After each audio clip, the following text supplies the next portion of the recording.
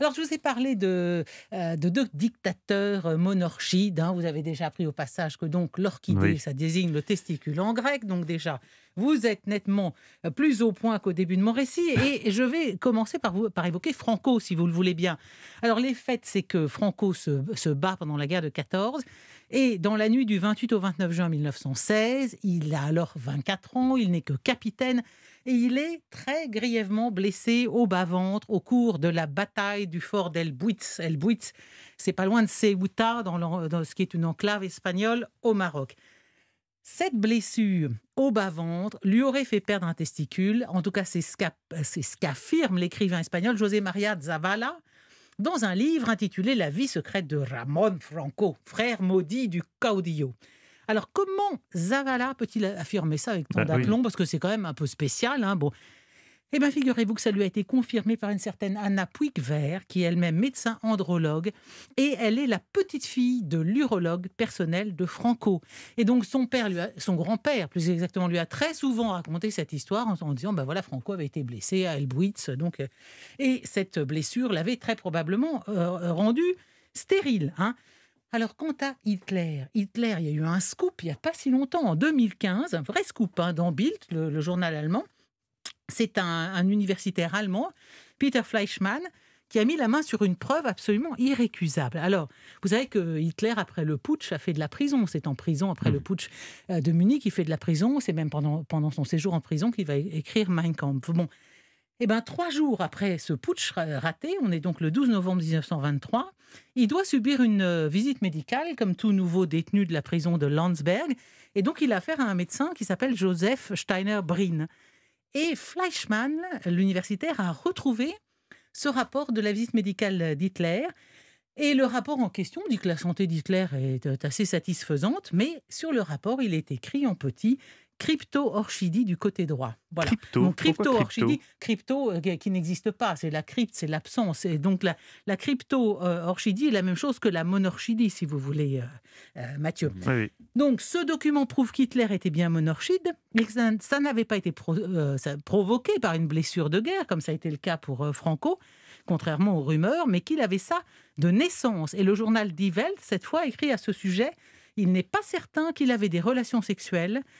La honte vis-à-vis de cette anomalie visible pourrait avoir eu des conséquences. Il est en outre probable qu'il ait été stérile. Hitler. Vous voulez dire qu'il a fait toute la guerre, qu'il nous a envahis Ouais, tous à cause ouais, de ça ouais, Ça fait ouais, que ça, Hitler. seul coup. Pour ça Ah Et bah oui, Hitler et Parce Franco qu'il était stériles. complexé. Alors, point d'interrogation, point d'interrogation, parce que, évidemment, Hitler, on, Parce que on Franco n'était pas. pas. stérile. hein. Ah bah- il, a, Oui. il a eu des enfants. Et Alors, des- non, alors il a c'est toute la fille. question. C'est que Hitler, on ne sache pas qu'il ait eu une descendance, mais Franco, il a eu une Bien fille, une, une fille. fille. unique, Maria del Carmen, surnommée. Carmen Chita. Bien sûr. Eh ben, née en 1926, elle est morte le 29 décembre 2017. Alors, Oui. oui, mais est-ce que Franco était son vrai père? C'est bien le dossier, ce qu'écrit le- le- le- le- l'écrivain espagnol José María Eh Zavala. oui, vous l'avez toujours traité comme la fille de Eh Franco, sans vous l'avez mais, chez euh, vous à bras ouverts, sans jamais savoir, sans jamais douter que peut-être elle n'était pas la fille. qu'elle est la grand-mère d'un de mes copains. Bah oui, mais écoutez, en tout cas, Stéphane, en 2009, ce livre, ça, ça avait vraiment. Quand je vous dis que ça fait couler des hectolitres d'encre, parce que officiellement. Officiellement, la, la Oh Maria del. Carmen, Carmen Chita, elle est née le 14 septembre 1926. Ouais.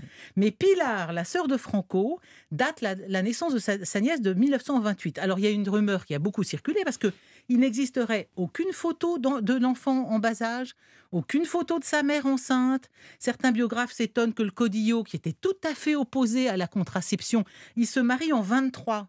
Et Carmencita est censée naître en 26 et voire même en 28, d'après la, la sœur de, de- de Franco.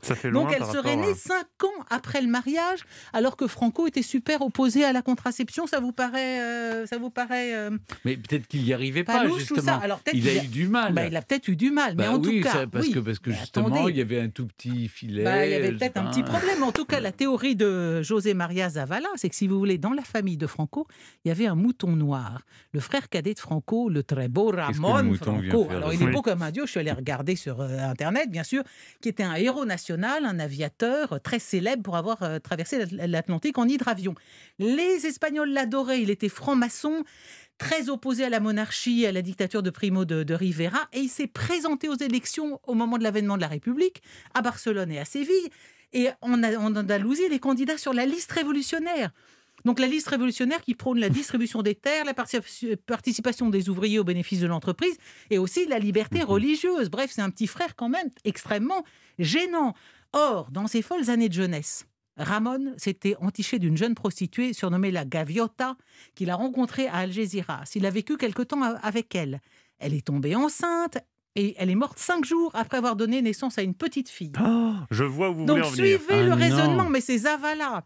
Eh bien, il y a un ami de Ramon, un certain de Velasco, qui affirmait que cet enfant a été recueilli puis adopté par la femme du futur dictateur d'E- d'Espagne. Voilà.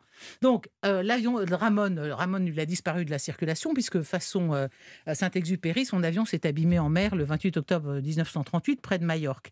Donc, la petite fille n'avait plus ni père ni mère. Où est-elle passée? A-t-elle été adoptée par Franco? Oh est-elle la fille de Ramon et de la Gaviota, une prostituée andalouse? Ça, ça nécessite Hein? un dîner. Vous devez organiser très vite un un dîner, test Stéphane. ADN pourrait évidemment établir la lumière sur cette question. Mais est-ce quoi que la famille Eh le sait, tout Bah, ça j'ai- j'ai- J'espère Oh bah, qu'ils écoutent Europe 1 cet euh, après-midi. Stéphane, je pense que la- quand le livre est sorti en 2009, ça m'étonnerait que la famille en ait pas entendu parler. Ça se trouve, ils ont dû poursuivre l'auteur d'ailleurs. En tout cas, quoi qu'il en soit de cette histoire de monarchie, dit, je vous invite en conclusion de cette chronique à méditer toute cette histoire des deux plus grands dictateurs du XXe siècle, hein, qui avaient des petits problèmes, à la lumière de cette phrase de Simone de Beauvoir dans Le Deuxième Sexe. Personne n'est plus arrogant envers les femmes, plus agressif ou plus méprisant qu'un homme inquiet pour sa virilité. Qu'est-ce que vous dites de ça? C'est très bien vu.